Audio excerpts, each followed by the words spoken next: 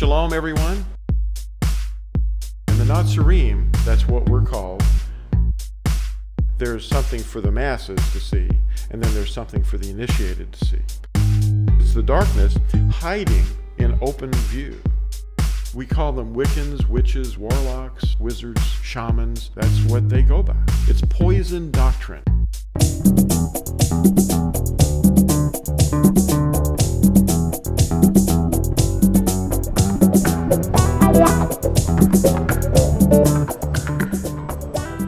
Welcome everybody. My name is Lew White, and I have people out of town here, and it's wonderful to see you all. And um, today we're going to be discussing a secret. Actually, there's several secrets, but uh, secrets have been kept from people, and secrets have been kept from the adversary too. The adversary doesn't have all the knowledge, but Yahuwah has revealed quite a bit to his people that the adversary never expected, you know.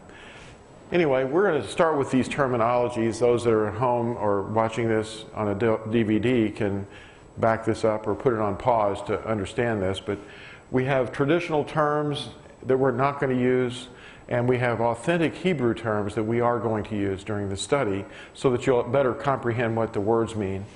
Uh, we're not going to use the word L O R D because it's just an English word and it actually defines itself in Hebrew as B A A L. We're not going to do that. We're going to put his name in, Yahuwah, and the name of the son of Yahuwah is not J E S U S, which would be Jesus or the horse in Hebrew.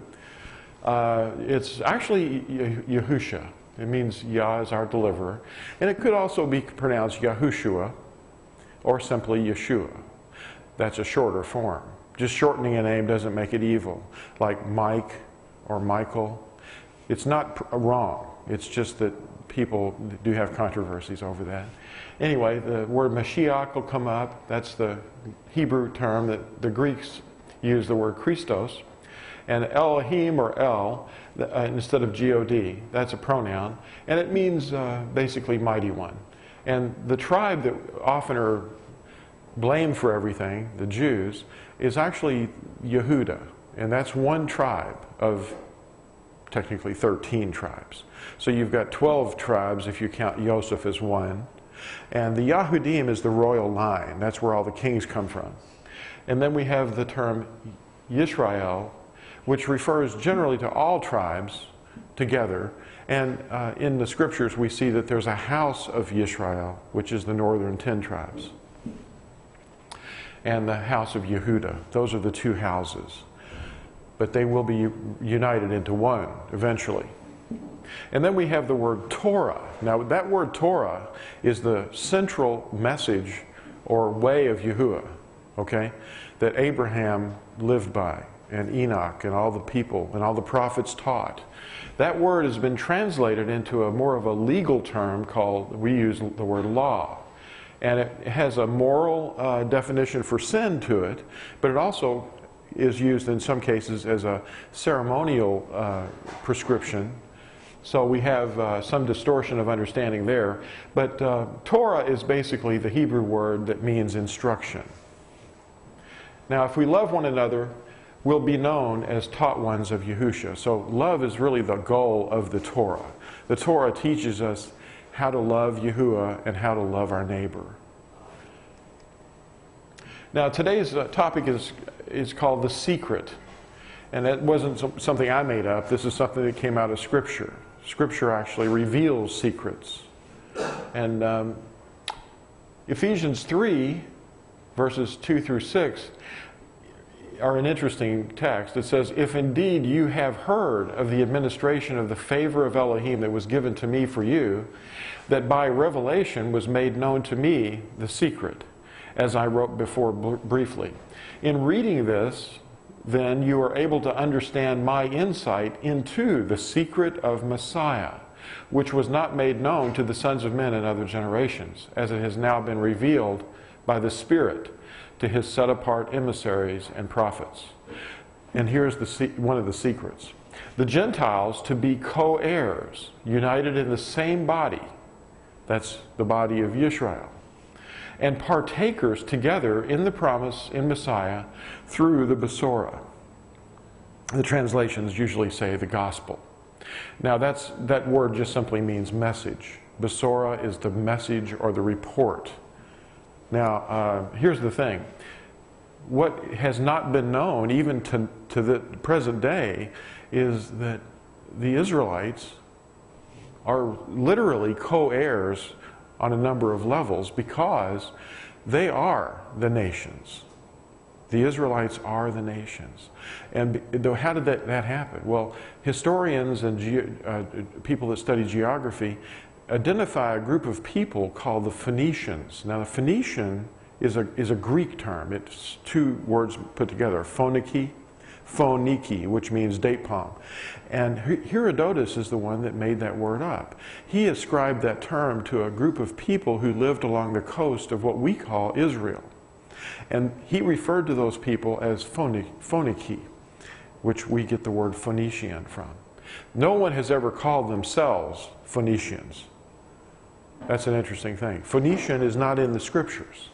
It's only from the writings of Herodotus that this originates. And he called the Israelites by this term. Now, that included the Sidonians and Tyrians, which were pagans who worshiped B A A L. But that was the sun. But the Israelites were also known by the term Phoenicians by the Greeks. And the Greek world uh, was growing and growing and growing and eventually overtook the whole Mediterranean as uh, an empire. And of course, the term Phoenician was used to refer to these sea peoples that had colonies all over the earth all around, uh, you know, they founded Carthage. And we know that the uh, city of Carthage in northern Africa was actually founded by the Israelites, you know.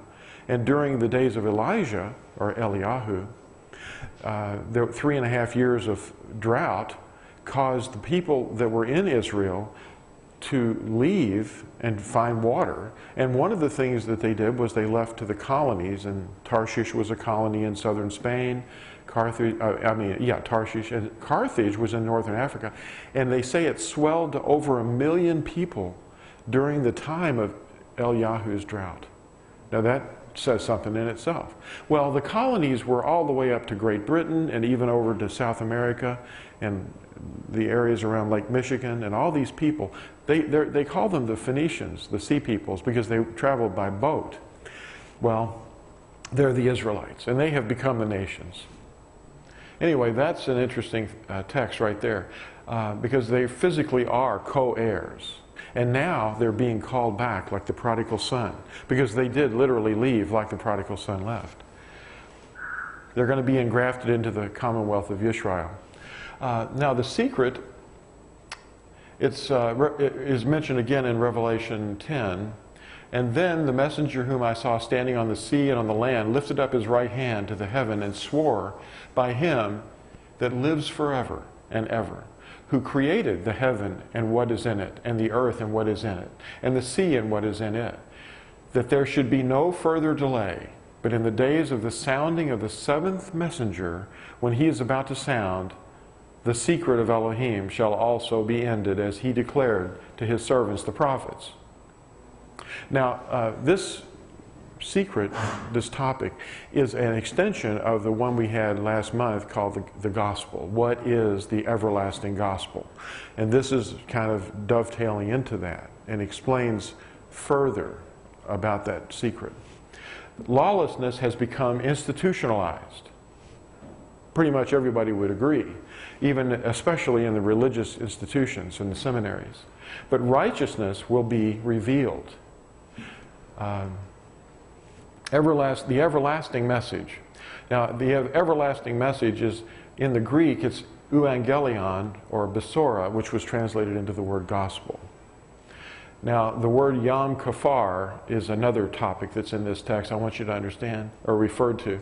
Revelation 14, 6 and 7 said, And I saw another messenger flying in mid heaven holding the everlasting good news. And that's the euangelion or besora, the message and it's apparently a secret, to announce to those dwelling on the earth, even to every nation and tribe and tongue and people, saying with a loud voice, and this is what he said Fear Elohim and give esteem to him, because the hour of his judgment has come, and worship him who made the heaven and the earth and sea and fountains of water.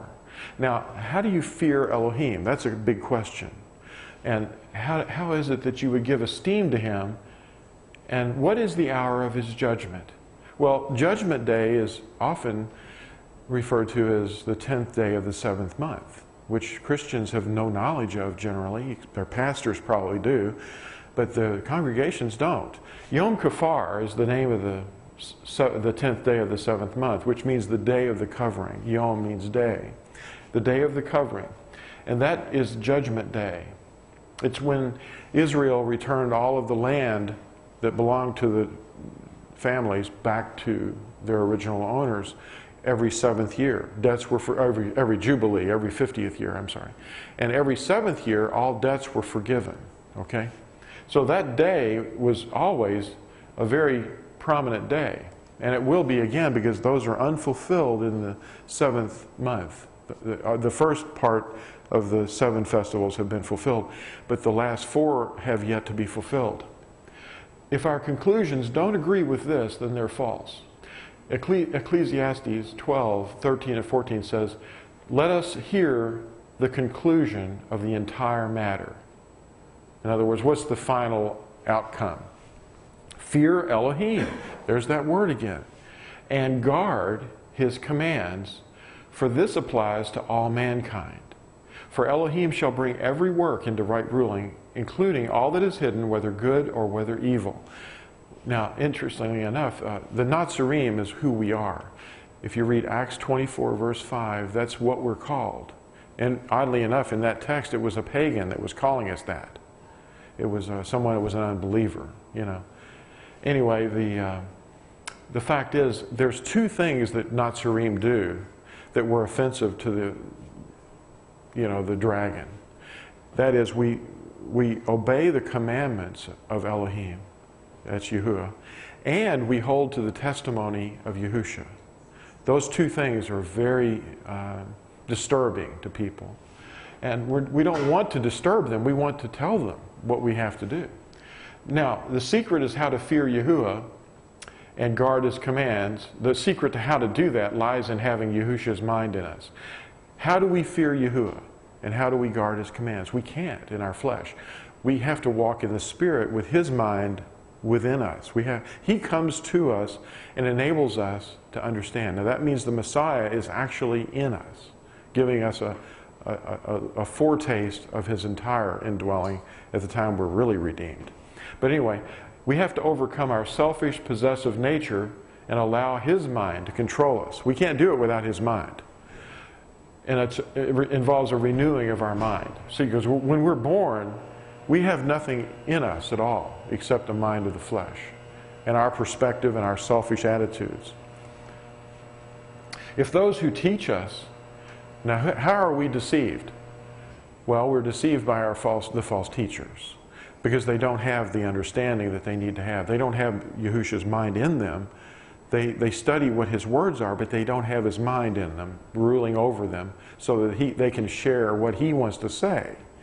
Now, if, if those who teach us don't agree with these conclusions, then they are misleading us, and not intentionally necessarily. But in 1 Yahuchanan or 1 John 3, 8 through 10, that one doing sin is of the devil, because the devil has sinned from the beginning. For this purpose, the Son of Elohim was manifested to destroy the works of the devil, which is sin. Everyone having been begotten of Elohim does not sin because his seed stays in him. I emphasize in him. As he is powerless to sin because he has been begotten of Elohim. In this, the children of Elohim and the children of the devil are manifest. Everyone not doing righteousness is not of Elohim, neither the one not loving his brother. So the works of the devil is sin. And in 1 Samuel 15:23, we learn that if we reject Torah, we might as well be witches and sorcerers. For rebellion is as the sin of divination. In many translations, it's witchcraft. And stubbornness is as wickedness and idolatry, because you have rejected the word of Yahuwah. He also does reject you as sovereign. He's talking to King Shaul there. Um, so we have to understand that this, these words might have been directed to one man at that time, but they still hold true to all of us.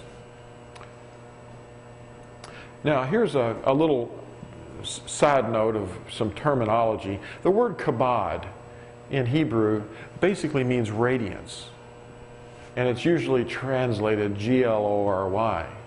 But the word kabod can be used as an acronym where the k sound and the b sound and the d sound have they stand for other words wisdom knowledge and understanding so we have kokma bana for knowledge and da'ath for understanding now that's a little confusing i know but we can see it coming out of Proverbs, if you just read this text. Proverbs 2 says, My son, if you accept my words and treasure up my commands with you, so that you make your ear attend to wisdom, incline your heart to understanding. For if you cry for discernment, lift up your voice for understanding. If you seek her, that's wisdom, as silver, and search for her as hidden treasures, then you would understand the fear of Yahuwah and find the knowledge of Elohim. For Yahuwah gives wisdom out of his mouth come knowledge and understanding, and he treasures up stability for the straight, a shield to those walking blamelessly, walking blamelessly, to watch over the paths of right ruling and the way of his kind ones he guards. Then you would understand righteousness and right ruling and straightness, every good path for wisdom would enter your heart, and knowledge be pleasant to your being. Discretion would guard you. Understanding would watch over you to deliver you from the evil way, from the man who speaks perversities, those who leave the paths of straightness to walk in the ways of darkness. Now, there's two ways the evil way or the way of Yahuwah. Abraham taught his household the way of Yahuwah. Now, focus on those on that phrase. That is the the, the way of Yahuwah is actually in the literal Hebrew is Shamar, Direct, Yahuwah. That's guard, Shamar, direct, where we get our word direct from, straight path. And of course, the path is the path of Yahuwah. Now that's uh, interesting. We're going to look at uh, what Abraham actually uh, where Abraham was spoken of by Yahuwah. Genesis, or Bereshith chapter 18, starting at verse 17, says, And Yahuwah said, Shall I hide from Abraham what I am doing? Now that's not a misspelling, actually, it's more correct. Abraham is a, uh, the father of nations, and that's a plurality. So Abraham is really what it should be. Shall I hide from Abraham what I am doing? since Abraham is certainly going to become a great and mighty nation, and all the nations of the earth shall be blessed in him. For I have known him. How do you know Yahuwah? Through his covenant. And so that he commands his children and his household after him to guard the way of Yahuwah. That's where I got that, that text. Shamar, Direct, Yahuwah. I got it from that sentence to do righteousness and right ruling so that Yahuwah brings to Abraham what he has spoken to him. He was about to explain to him, you know, uh, about the destruction of the city, you know. Well, anyway, there it is. Uh, now, the message. The message was given to Israel to teach mankind to heed. Believe it or not, Israel, or Israel, had a, had a co-mission, or a, co- a commission, but it was a co-mission with Yahuwah to do something. And they failed miserably. And we have been failing because we are engrafted into Israel through the covenant. And now we're waking up to our commission. What was it? Okay. It's called by different terms gospel, which is more recent. That's kind of a 16th century term for it. It means uh, the good news or the good spiel. Evangelion, the Greek term for it. Living words, that's what uh, Stephen called them in Acts chapter 7. The oracles of Elohim and the word Besorah. But what is it? Well, we covered it last month in the, in the term gospel. Well, here it is. That was a little drum roll. Here is the retelling of the covenant for the lost tribes of Israel in the last days, given at Deuteronomy 5 6 through 21. I am Yahuwah your Elohim, who brought you out of the land of Mitzrayim, out of the house of bondage. You have no other mighty ones against my face. Number two, you do not make for yourself a carved image, any likeness of which is in the heavens above, or which is in the earth beneath, or which is in the waters under the earth. You do not bow down to them, nor serve them. For I, Yahuwah, your Elohim, am a jealous El, visiting the crookedness of the fathers upon the children to the third and fourth generations of those who hate me, but showing kindness, that's chesed, that's the word grace in the Christian world, to thousands, to those who love me and guard my commands.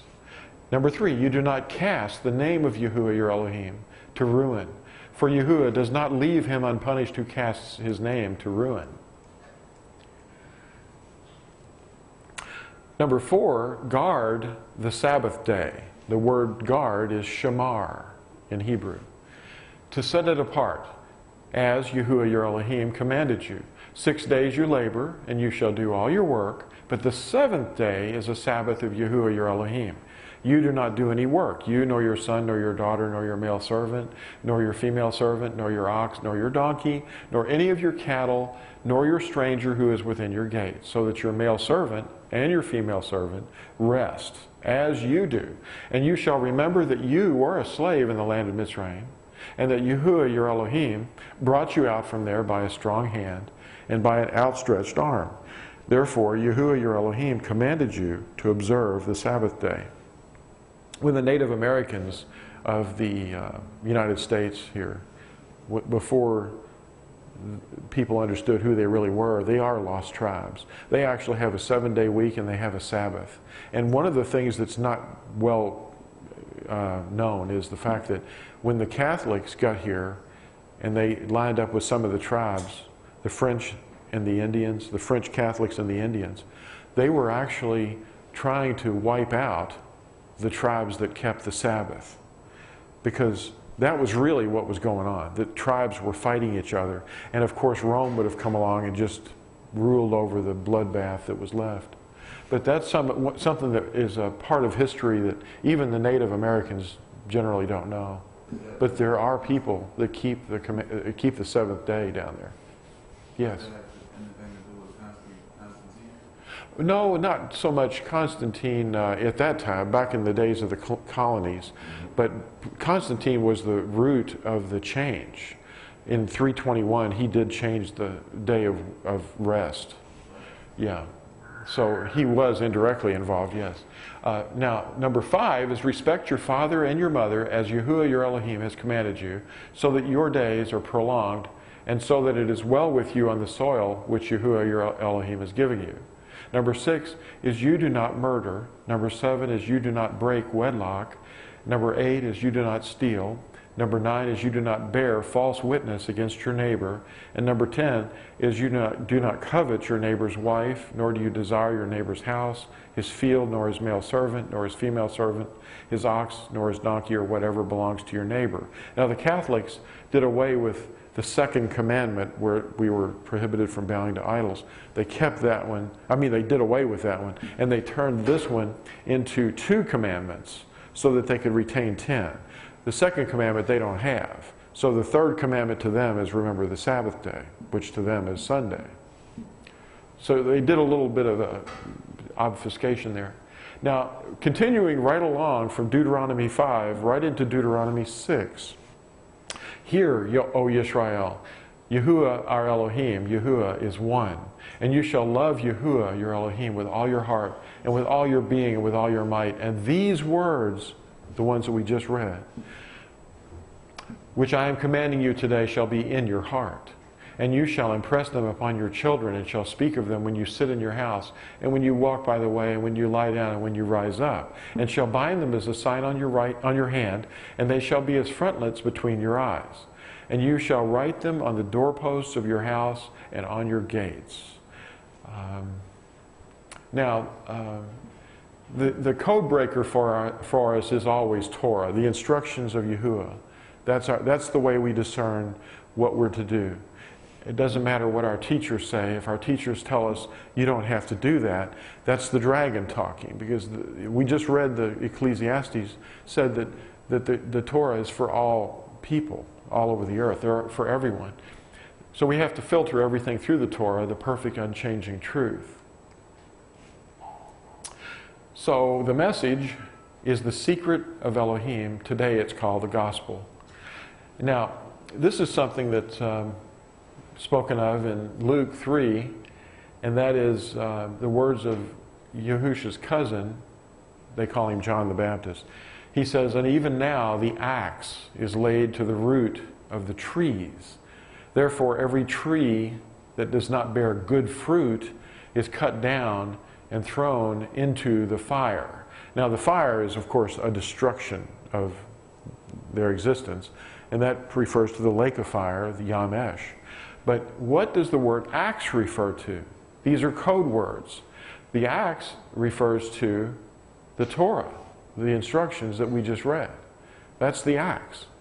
And why would that have an effect on the other, the other parts of this sentence? Trees. The axe is going to come in contact with trees. What are trees? Well, trees are false religions. Actually, any religion is a tree. Uh, because we're not living a religion, we're living a reality, a relationship. It's not a religion, it's a relationship, the covenant. Now, the axe is going to wipe out destroy forever these trees and they're going to be thrown into the fire because they don't produce good fruit. Because Yahuwah said that in Ecclesiastes, once again, that every single thing is going to be analyzed whether it's good or it's bad, it's evil or it's good. So if it isn't good, then it's not going to be retained. Now, Israel has always carried the secret. The secret is the covenant and that's been what the dragon has been fighting against. He's been the dragon fights against the Nazarene tooth and nail because it, the dragon does not want the covenant to be known.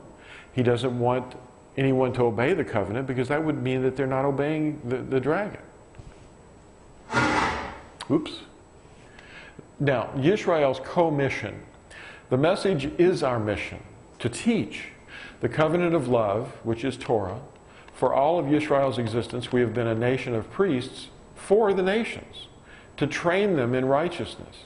And we've failed to perform that function very well, but with Mashiach in us, the secret of the ages, he will fulfill that mission through us, and then the end will come. Now, we're not going to fulfill the mission. We, we're going to let him do that because he's the only one that can. And he's going to do it through us. We have to transmit the, the, the message. The, the message has been limited to the death, burial, and resurrection. That's something that everybody needs to know. Yes, that's the atonement. But what about the actual walking as he walked? And the Greek mind only wants to believe. But we have the Hebrew understanding that not only belief in our minds, but, but manifestation of our belief in our walk, that that perfects our belief, you know. So if you, if you believe something mentally, like a Greek would, that's not going to get anything done. It's, a, it's without purpose. So we have to actually do the Word. So when you do the Word, then you have perfected your faith or your belief. And he, he said in one text that when this is done finally, it's uh, I think in Matthew chapter 24, he says when that mission is done, when the, when the message has been preached or proclaimed in, throughout the entire world, the end would then come. Uh, we can't do it in our own, uh, on our own, though. In Matthew 24, verses 11 through 14, it says, And many false prophets shall arise. Now that's uh, including teachers, and lead many astray. Now, focus on that. Lead many astray. And because of the increase in lawlessness, which is as opposed to obedience, the love of many shall become cold, but he who shall have endured to the end shall be saved. And this good news, or message, of the reign shall be proclaimed in all the world as a witness to all the nations, and then the end shall come. Now, how is it that we're led astray? And what are we led astray from? Well, we're not led astray from freedom to do as we like. See, the, the Satanists say, do as thou wilt. Harm none, do as thou wilt. Well, that's pretty loose. But here's the thing that's not of Yahuwah. Yahuwah doesn't say to do as thou wilt. He said, obey me, okay? And you will be blessed. But here's the thing how is it that we're led, what are we led astray from? We're led astray from the covenant. That's pretty obvious. And we have been led astray, and uh, seminaries are, are teaching men to lead people astray in bulk. That's what they go there for the seed factories, the seed plots. Now, if we're, if we're uh, being led astray, who's doing it? Well, the teachers are doing it because we're not hearing the teachers that are teaching the truth. They, they have partial truth, and that's the thing. They masquerade as messengers of light, but they're really not. The secret is revealed in part right here, and this is very important. In Colossians chapter 1, verses 27 and 28, Shaul wrote these words To whom Elohim desired to make known what are the riches of the esteem of this secret among the Gentiles, which is Messiah in you, or Mashiach in you, the expectancy of esteem, whom we announce, warning every man and teaching every man in all wisdom, in order to present every man perfect in Messiah Yahusha. Now, how are you going to teach them if you just say, if you stay on the subject of death, burial, and resurrection, and don't teach them the, the covenant? Well, it's kind of a losing proposition because you can't teach someone how they're sinning in 1 Yahuchanan or 1 John chapter 3, uh, what is it? Chapter 3, verse 4. Um, it says that sin is lawlessness. So if you don't know how to define sin, then you can't find out what lawlessness really is. So, anyway, in Jeremiah 31 or Yirmiyahu 31, it says, For this is the covenant I shall make with the house of Israel after those days declares Yahuwah. I shall put my Torah in their inward parts and write it on their hearts. And I shall be their Elohim, and they shall be my people. See, the Messiah in you brings with him the covenant. So he's in you, and he writes his covenant and a love for the covenant upon your heart. Because you can't obey it unless you love it. Now, so there's the key right there. That's the key secret right there. In uh, Yahuchanan chapter 20, starting in verse 21, we read, Then Yahusha said to them again, Peace to you, as the Father has sent me, I also send you. So that's a serious, heavy commission. And having said this, he breathed on them and said to them, Receive the set apart Spirit. The Spirit came out of him and he breathed on them the Spirit. If you forgive the sins of any, they are forgiven them. If you retain the sins of any, they have been retained. And that has to do not so much with them at all, it has to do with the recipient, the type of soil that they are. When they are, uh, teach the commandments to people and they reject them, then the, the sins that are in those people are retained. And we recognize that and we can say it. That say, well, if you keep walking this way, then sin abides on your head and the wrath of Yahuwah is upon you. But you can repent at any time, you know. See, without repentance, there is no forgiveness. If Yahusha is not inside, you're not his. Romans 8, verse 9 says, But you are not in the flesh, but in the Spirit, if indeed the Spirit of Elohim dwells in you. And if anyone does not have the Spirit of Messiah, this one is not his. Now, we're to be controlled by the actual mind of Yahusha. In 1 Yahuchanan or 1 John 3, verse 8 through 10, it says, The one doing sin is of the devil, because the devil has sinned from the beginning. Now, we've already read this, but I want to emphasize it again. For this purpose, the Son of Elohim was manifested to destroy the works of the devil, which is sin. Everyone having been begotten of Elohim does not sin, because his sin stays in him and he is powerless to sin because he has been begotten of Elohim. In this, the children of Elohim and the children of the devil are manifest. Everyone not doing righteousness is not of Elohim, neither the one not loving his brother. And Yahusha also said, By their fruits you will know them. So it's about what our mind is on. Romans 12 says, I call upon you, therefore, brothers, through the compassion of Elohim, to present your bodies a living offering, set apart, well pleasing to Elohim, your reasonable worship. And do not be conformed to this world, but be transformed by the renewing of your mind so that you prove what is that good and well pleasing and perfect desire of Elohim. Not our desire, but His. And it says in Psalm 1 2 that, that backs this up. But His delight, that's our delight, the man who loves, who, who dwells on the Torah, his delight is in the Torah of Yahuwah, and he meditates in his Torah day and night. Now, if Christian pastors were able to see this, that they wouldn't, they wouldn't remain Christian pastors. They'd become Natsarim because that's what we do. We, we, we obey the commandments of Elohim and we hold to the testimony of Yahusha. See, because uh, that's what the first fruits are spoken about in Revelation chapter 12 and 14. Now, it's a veiled message to those who are perishing. In other words, if they just have a belief in Yahusha's sacrifice, and, and they understand that he resurrected, but they do not walk as he walked. They're living in a veiled world.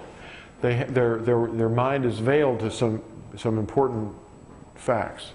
In 2 Corinthians 4, it says, And indeed, if our good news, that's our message, has been veiled, it has been veiled in those who are perishing, in whom the mighty one of this age has blinded the minds of the unbelieving, so that the enlightening of the good news of the esteem of Messiah, who is the likeness of Elohim, does not shine on them. For we do not proclaim ourselves, but Messiah Yahusha the Master, and ourselves your servant for the sake of Yahusha. For Elohim said, Let light shine out of darkness, is the one who has shone in our hearts, for the enlightening of the knowledge of the esteem of Elohim in the face of Yahusha Messiah. So he's talking about Messiah, once again, being in you, see, has shown in our hearts. It's, we're not proclaiming anybody in us except Messiah Yahusha. That's who's in our heart, and that's who speaks through, through us. Now, He is the treasure. The Spirit is in earthen vessels. And we have this treasure in earthen vessels. That's our bodies. Now, we're not talking about rubies and sapphires and diamonds. We're talking about something infinitely more valuable, something that'll be around forever. Because that stuff can perish, that stuff is perishable. And we have this treasure in earthen vessels so that the excellence of the power might be of Elohim and not of us, being hard pressed on every side but not crushed, being perplexed but not in despair, being persecuted but not forsaken, being thrown down but not destroyed always bearing about the body, the dying of the Master Yahusha, that the life of Yahusha might be also manifested in our body. So Yahusha's life can be, a, can be witnessed in us. Okay? In Deuteronomy 29, verse 29, it says, The secret matters belong to Yahuwah our Elohim, but what is revealed belongs to us and to our children forever to do all the words of this Torah. See, what was revealed was the secret of the Torah. That's what he's talking about. You know, there it is. It was revealed to us and to our children forever to do all the words of this Torah. Psalm 25, the secret of Yahuwah is with those who fear him. That means respect him. And he makes his covenant known to them. What? That's the secret, the covenant. But we're fishers of men, and the nations are the fish. So we have to find those people who will listen, tell them the name of the Creator, and then teach them to guard His commandments. That's what we were commissioned to do when he that was one of his final words. The secret counsel, and we've heard of this term too. That's Yahuwah's Torah, his covenant. Proverbs 3 again Do not envy a cruel man and choose none of his ways, for the perverse one is an abomination to Yahuwah, and his secret counsel is with the straight. Now, here's an interesting thing uh, to emphasize the idea that Messiah is in us, okay? And it's spoken of in Yirmiyahu 31, which is one of my favorite chapters. A woman encompasses a man. Well, that's because the woman is Israel, and the man is Yahusha within her. In Yirmiyahu 31, verses 22 and 23, it says, Till when would you turn here and there, O backsliding daughter? That's the nation of Israel. For Yahuwah has created what is new on earth. A woman encompasses a man. Thus said Yahuwah of hosts, the Elohim of Yisrael. Let them once again say this word in the land of Yehuda and in its cities when I turn back their captivity. Yahuwah bless you, O home of righteousness, mountain of set apartness. Now, when he turns back their captivity is when he returns. That's when the captivity ends. We're in captivity because we're not in the land. If we go back to the land, we're still in captivity because he didn't return us there. When he returns us there, we're going to fly up into the air. And then we're going to meet him, and then we're going to come down, and we're going to remain with him forever. That hasn't happened. That's the end of our captivity. And when, he, when that happens, we're, uh, he says, When I turn back their captivity, Yahuwah bless you, a home of righteousness, mountain of set apartness. That's the new Jerusalem, the home of righteousness. And guess what? We're going to be the new Jerusalem, and guess who's inside of us? Yahusha. He's inside the woman, you know.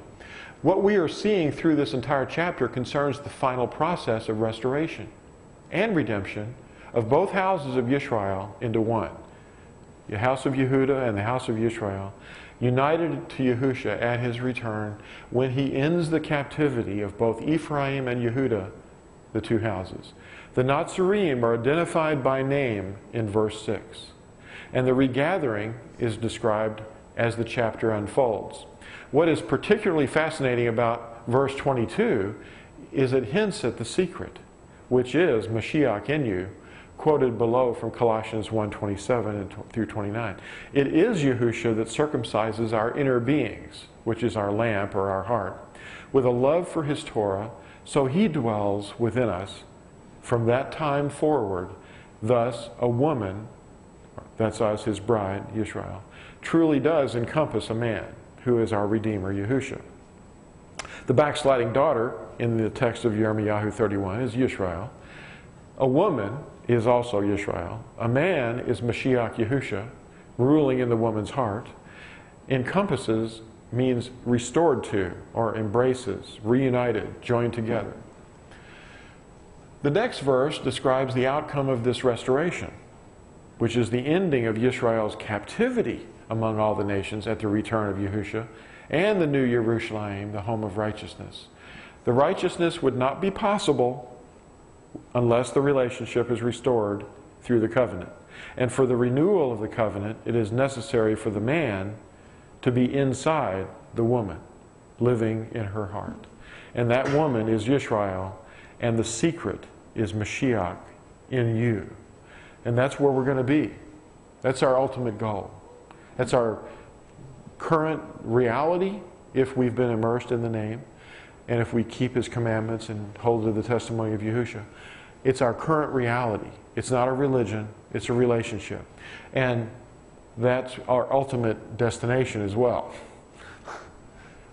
Uh, Yirmiyahu 31, 33 says, For this is the covenant I shall make with the house of Israel after those days, declares Yahuwah. I shall put my Torah in their inward parts and write it on their hearts, and I shall be their Elohim, and they shall be my people. So he writes his Torah on our hearts. Now, it doesn't say anything about what Catholicism teaches or any of the Christians teach. It's just not there. Did you have a question? Yeah, um, after those days, what, what is that particularly a reference to? Do you have any idea? After those days, What, it says, after those days, I will make a covenant with the house of Israel. Well, no. mm-hmm. Or I shall make, this is the covenant I shall make with the house of Israel after those days, declares Jehovah. What, yeah, what days is he talking about? Well, I think he's talking about after everything's said and done. Um, you know, meaning all the fulfillment of prophecy. Yahusha comes back, fulfills the the uh, shadows of the seventh month, and redeems it, and redeems his people. You know, the first fruits are the first, and then the uh, rest come. You know, later during the tribulation. So at this point, we're still struggling. Yes, we're still in the midst of. Struggling against flesh, our flesh. Oh yes, oh yes. After the fulfillment, we'll be able to accept them because he's transformed us. Well, exactly, yes. Part of it. And he will be in us so so amazingly f- in such a full way that he's going to be actually he's already omnipresent, but he's going to be in living in living stones, you know. Right, right. I mean, I understand he can't be in the presence of sin. He's because of his his perfect state. Right. So while we're still fleshly and sinning, he can't he can't necessarily Yeah. Yeah, we're still being tugged on every side by our flesh and by the people around us and the environment that we live in. And we're, our feet are dirty, but we're still clean. Uh, he cle continually cleanses us from sin. Uh, and our sinful nature is still there. We're still wrestling with it with our own self. Our inner self is saying no, and our flesh is saying yes.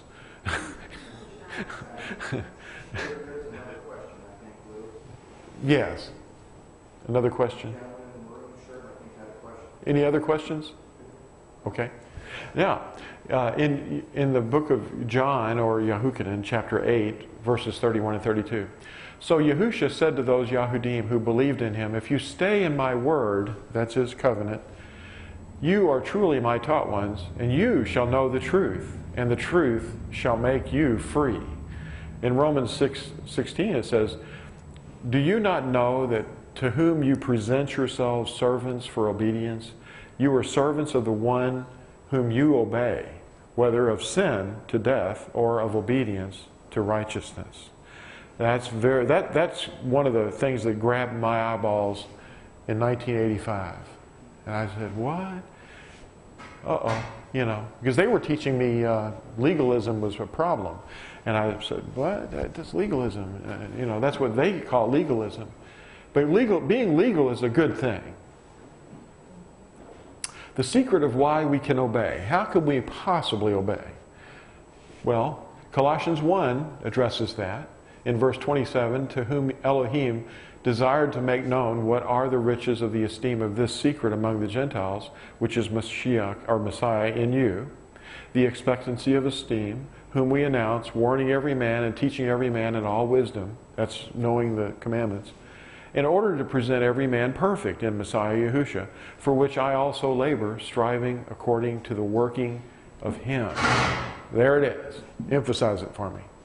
Um, according to the working of Him who works in me in power. So there it is. Salvation is highly conditional. We must repent. If you think that it's not conditional, then they're lying to you. Because if you don't repent and turn back and obey, then you're going to perish. Uh, when you love the commandments, that you, you will live by them because the commandments are living and active. They're actually alive because they are in the. He is the Torah. He's the living Word, and when He comes into us, it says right here. Shaul says that his uh, he's striving according to the working of Him who works in Him. You know. Mashiach in you is the secret. And it's overlooked by the fathers at the School of Alexandria, where Christianity was invented. Now, this is not a happy thing to see, but some people, they don't know that Christianity was invented by the School of Alexandria, the Catechetical School of Alexandria. Look it up on the internet.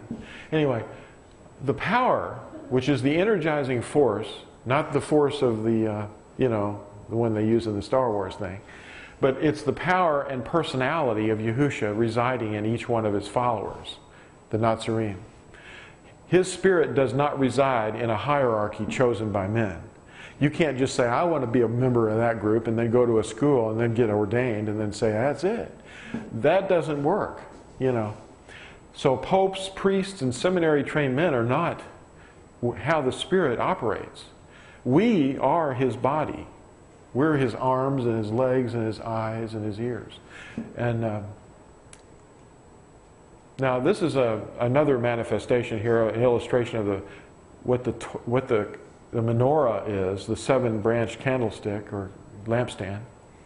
It, it's a, an embodiment of uh, Yahusha being the root, and we're the branches. And the two fig trees are the house of Israel and the house of Yehuda. And this thing that's connecting them was mentioned, I believe it was in Zechariah chapter 4, if you all want to do some background research. The shibboleth.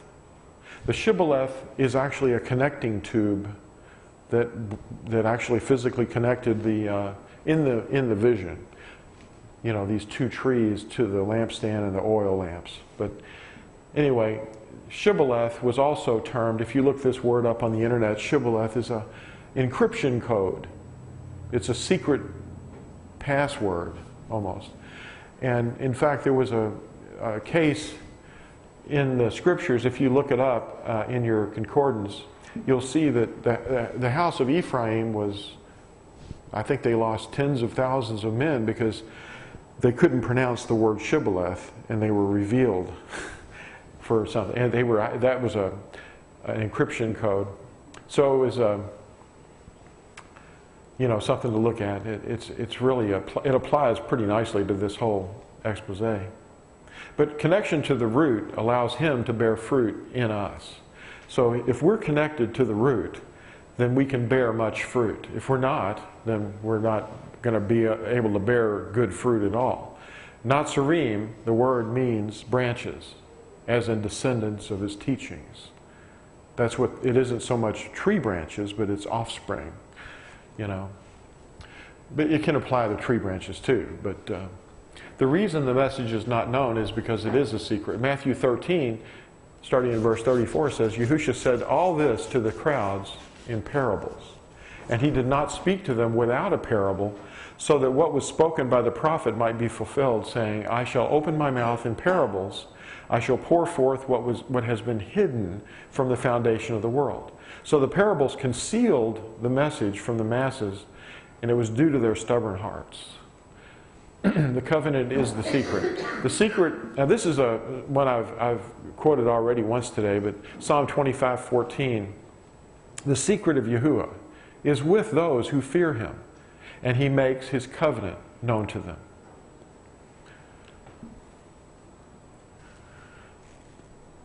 In uh, Yeshayahu 61, verse 11 says, For as the earth brings forth its bud, as the garden causes the seed to shoot up, so the Master Yahuwah causes righteousness and praise to shoot up before all the nations. So the covenant is the seed that produces fruit. You have to understand these code words. And the fruit is love, joy, peace, patience, kindness, goodness, gentleness, faithfulness, and self-control. Galatians 5:22, the fruit of the spirit. And Galatians 5 7 says, You were running well. Who held you back from obeying the truth? And Yirmiyahu 10 25 says, Pour out your fury upon the heathen that know you not, and upon the families that call not on your name. That's uh, amazing.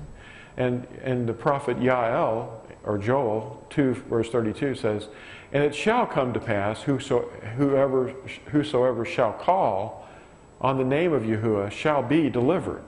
So the name is part of the secret message. It hasn't been well known. And I, I know that many of you know that the uh, current Pope of Rome has forbidden the name to be spoken aloud or referred to in any of the songs or teachings. In the Encyclopedia Americana 1945 says under this, under the topic God, God, the common Teutonic word for personal object of religious worship, formerly applicable to superhuman beings of heathen myth. On conversion of Teutonic races to Christianity, the term was applied to the supreme being.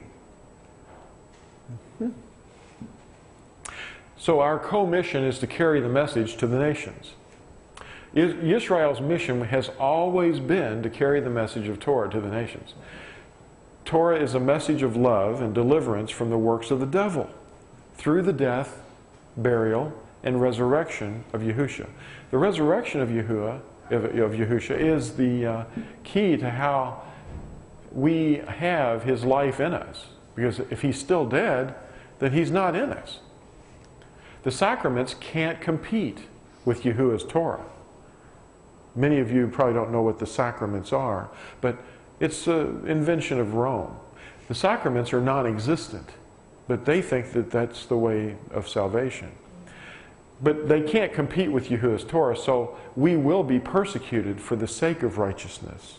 That's part of why we're persecuted and have been persecuted. This is a picture of the Nazis arresting some uh, Yahudim. So at the end of the age, the, the bride will obey and, and is regathered. In Deuteronomy 30, we hear about this regathering, you know. And it shall be when all these words come upon you, that's the words of the covenant, along with the blessing and the curse which I have set before you, and you shall bring them back to your heart among all the Gentiles, where Yahuwah your Elohim drives you. That's where he scattered them. And shall turn back, that means to repent, to Yahuwah your Elohim and obey his voice according to all that I commanded you today, with all your heart, with all your being, you and your children, then Yahuwah your Elohim shall turn back your captivity and shall have compassion on you, and he shall turn back and gather you from all the peoples where Yahuwah your Elohim has scattered you. If any of you are driven out to the farthest parts under the heavens, from there Yahuwah your Elohim does gather you, and from there he does take you.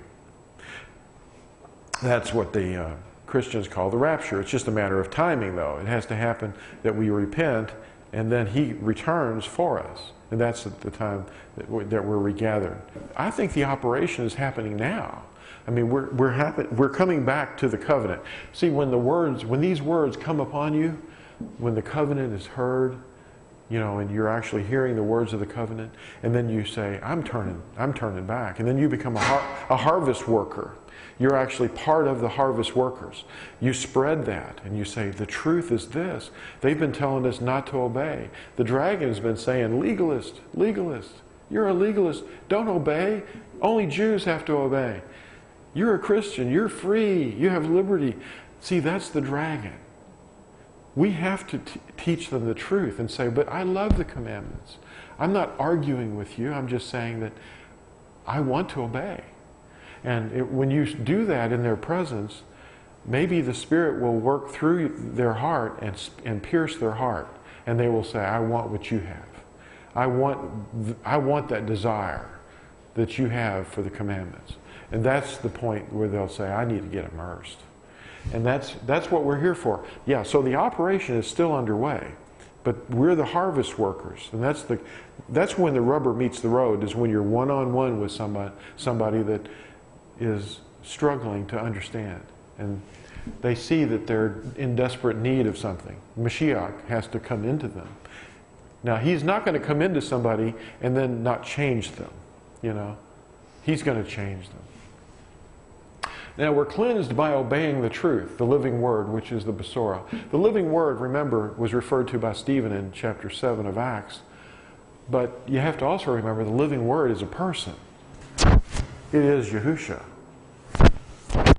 1 Peter 1 22 starts out saying, Now that you have cleansed your lives in obeying the truth through the Spirit to unfeigned brotherly love, love one another fervently with a clean heart, having been begotten from above, not of corruptible seed, but incorruptible through the living word of Elohim, which remains forever, because all flesh is as grass, and all the esteem of man is the flower of the grass. The grass withers, and its flower falls away, but the word of Elohim remains forever. And this is the word announced as good news to you. So the Torah equals or is the living words. Acts 7 this is the part I've been referring to. This is, this is the Moshe who said to the children of Israel, Yahuwah your Elohim shall raise up for you a prophet like me from your brothers. Him you shall hear. This is he who was in the assembly in the wilderness with the messenger who spoke to him on Mount Sinai, and with our fathers who received the living words to give to us to whom our fathers would not become obedient, but thrust away, and in their hearts they turned back to Mitzrayim. So surely Stephen was referring to the Ten Commandments. That, and Christianity has likewise thrust away these same words. The first four are really problematic for them. So our commission is very simple. It's our ordained marching, marching orders. Matthew 28, one of the last things that Yahushua said in his resurrected body, to emphasize what he was saying to us, the message. He's, he's telling Israel, once again, do your job. Teach the nations. Matthew 28, therefore go and make taught ones of all the nations, like they'd always been supposed to do, immersing them in the name of the Father and of the Son and of the set apart Spirit, teaching them to guard all that I have commanded you. And see, I am with you always until the end of the age. Mashiach in you. See, I am with you. I'm, he means I'm not only with you, but I'm in you. And I'm going to do this through you. See? So we're finally getting that commission. That's a commission. It's Him working through us. So we're defined learners who will hear. Teach them the name. Teach them the Torah of Yahuwah, the way of Yahuwah. And here's Columbo. That makes sense, sir.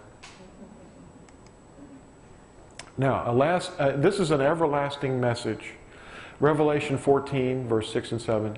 And I saw another messenger flying in mid heaven holding the everlasting good news to announce to those dwelling on the earth, even to every nation and tribe and tongue and people, saying with a loud voice, Fear Elohim and give esteem to him, because the hour of his judgment is come, and worship him who made the heaven and the earth, the sea and sea and fountains of water. Now, how do we worship him? Let us hear the conclusion of the entire matter. Fear Elohim and guard his commands, for this applies to all mankind. For Elohim shall bring every work into right ruling, including all that is hidden, whether good or whether evil. Ecclesiastes 12. And you thought you were going to get away without seeing Al Gore. We always try to get a little snap of him in because I like him a lot. He's one of my, uh, you know, uh, not, not an idol, but he's one of these people that I'm concerned about. You know, I think he's got a good heart, but he's just, you know, he's just out there searching for something. He's searching for love, is what he's searching for, in all the wrong places. uh, remember how you how are we deceived? Okay, how are we deceived? All right. Add to Torah. Take away from Torah. Either of those two will take care of that. If you add to it or take away from it, then you're deceived. That's how they trick us into doing things wrong. Remember how to be restored. Well, in Second Chronicles 7:14, and my people upon whom my name is called shall humble themselves and pray and seek my face and turn from their evil ways. Then I shall hear from the heavens and forgive their sin and heal their land. Renew your mind with truth and turn away from false teachings. Now, Natsarim, that's a word that some of you out here, uh, either watching this or sitting here, don't know what that means. The Nazarene is the original term for the followers, the first followers of Yahusha, of Nazareth. Nazareth was a city on a hill that meant watchtower. It was able to see the entire surrounding area.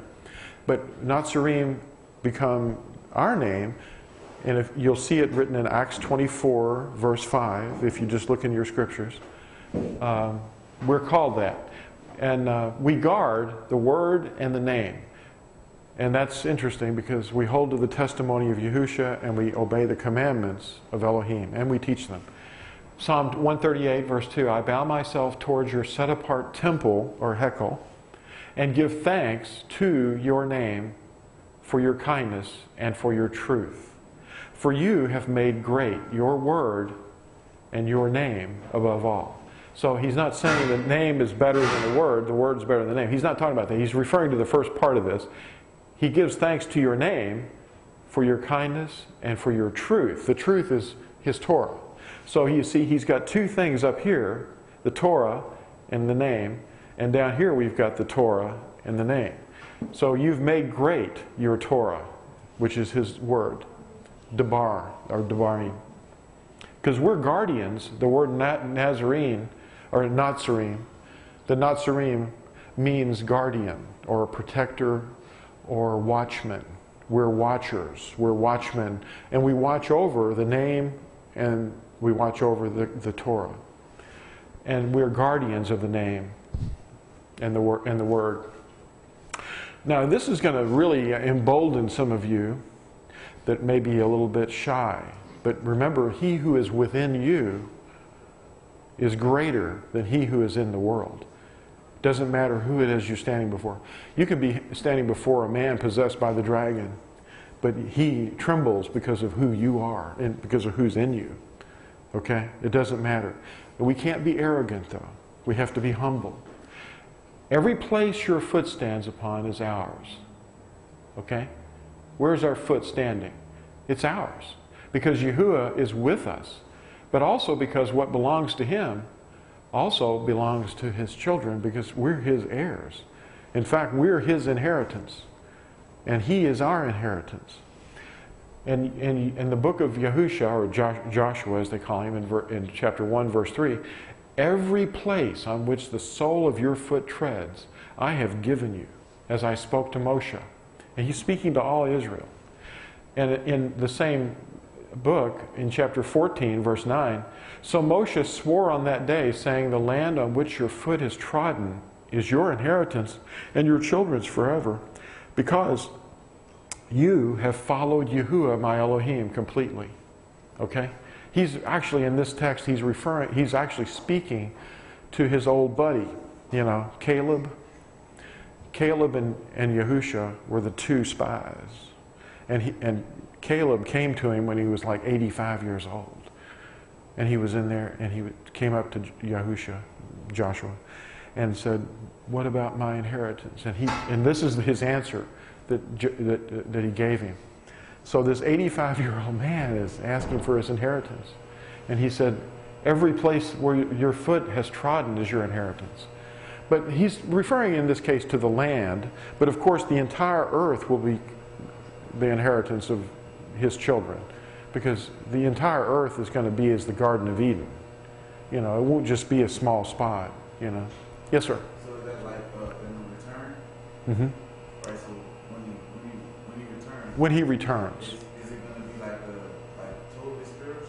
No, he, he's going to be physical. We're, we're going to be transformed and have bodies like Yahusha.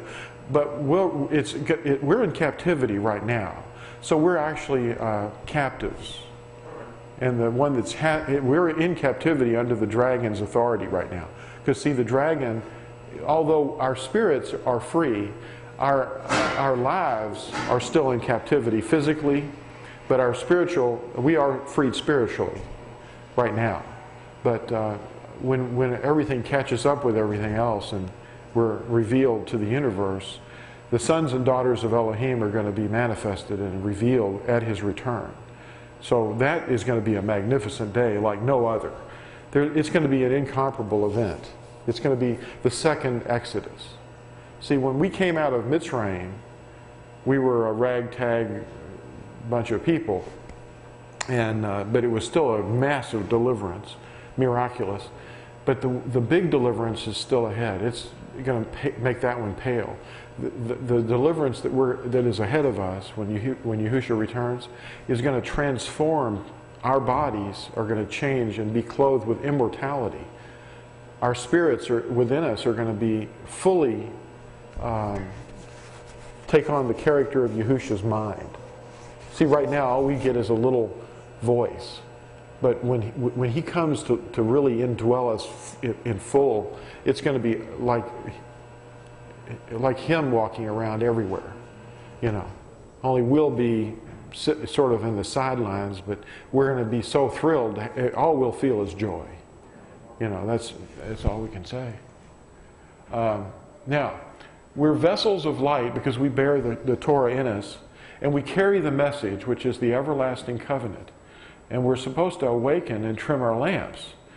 Uh, our hearts have to be tuned to, to the Torah. Now, Revelation 12 17 says, And the dragon was enraged with the woman, that's Yisrael, and he went to fight with the remnant of her seed, those who guard the commands of Elohim and possess the witness of Yahusha, Messiah. So that's, uh, that's one of our main problems is uh, the dragon is always after us. And uh, he's got all the, the big microphones and TV screens and everything. Uh, all we've got is a small little, um, well, we're not the only place on the earth. I mean, come on. I mean, there's a lot of Natsarim, but we're very, very small in number. It's almost like the religions are their whole existence is to keep you away from obeying the covenant the way the Jews were given the covenant and the way that they failed to uh, obey it. And replacement theology has made Israel the Christians, and that's really the goal of it, you know. And I just want you to understand we're not to argue with them, you know, because if they're doing what they think is right, they're not sinning, you know. It isn't about being right, it's about not judging, you know and uh, being correct as you can in your heart, that's, uh, that's more important because you're, you're going to be judged by what you know, you know, and what you didn't know. And if you're in error, if I'm in error about that, then uh, I'll repent and I'm not going to have ever said anything against those that did it the, the right way. So if those say, if anybody says, well, you're going to be damned because of your false teachings over whatever, then let it not be said that I ever did that to them or, or you ever did that to them. But uh, we're going to be judged by our words and the measure that we use to judge others. You know, that's important. But anyway, these fall festivals are harvest. It's about the harvest of the earth. They're just shadows. And this seventh month is critical. Christians have completely ignored that. Uh, I don't know what, how that could be, but I guess it's, you know, it's because it's an invention of men. It's a religion that was invented by men, and it's hence uh, fragmented into all these different de denominations. And they don't understand it, but uh, it's written right there in Leviticus chapter 16 and uh, no, Leviticus chapter 23 and Deuteronomy chapter 16. The festivals are right there. You know, all you have to do is look at them. But they, they don't want to be associated with Israel because, see, with as Christianity developed, Constantine and the fathers were repulsed by anything that had any scent or flavor of anything Jewish as they understood it. So the anti Semitism was rampant in the Christian fathers. Uh, in fact, before Rome became a prominent part of Christianity, Alexandria, Egypt was the repository of all human knowledge. The, the, in fact, the library at Alexandria was burned down at least three times because, you know, it had a lot of knowledge there, and I think that was intentional, you know. Uh, the Christians probably were trying to burn it down because it had evidence in there and they wanted to destroy that evidence. Because you see Nazis running around burning giant books and libraries, uh, you know, because evidence exists in those books, you know. Um, throughout all time, books have been burned to expunge the knowledge that they contain, to basically get people down to a controllable, because the first ones that, would be executed in a lot of wars were the intelligent teachers and philosophers. They were the first ones that had to be killed, you know. And anybody that had any contact with their writings had to be killed too. But persecution is part of our lives. I mean, we can expect basically the the highest powers on earth to come down hard on us if we ever grew in strength. Because we're a threat, you know. But, uh, you know, not because of physical, but because of the, the truth. The truth is a threat. Okay, well, I'm going to have to get it.